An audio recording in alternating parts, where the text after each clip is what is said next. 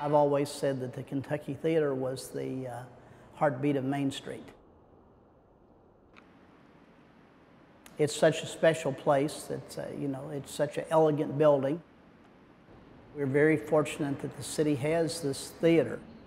Even many large cities do not have a theater like this. Movies uh, were meant to be seen in this type of building.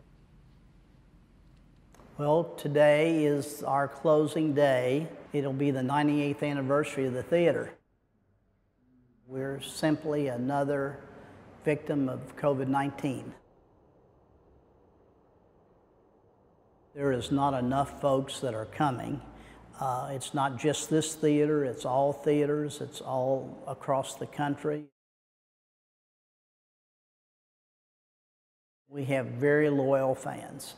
Uh, it's been this way for many decades.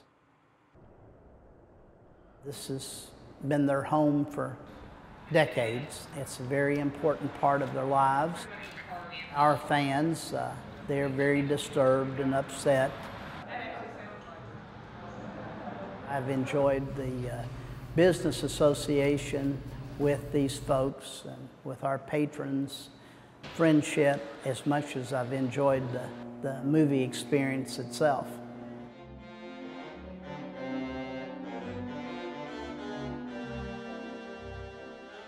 We need the theater to reopen again as soon as possible.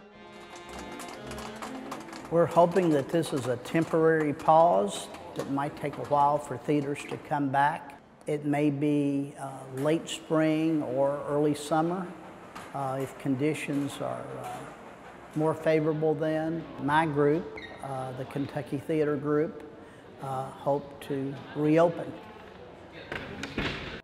It may take a little bit longer than maybe that we want, but uh, we still need for the Kentucky Theatre to reopen again because this is too important to uh, just let the uh, building go to the wayside.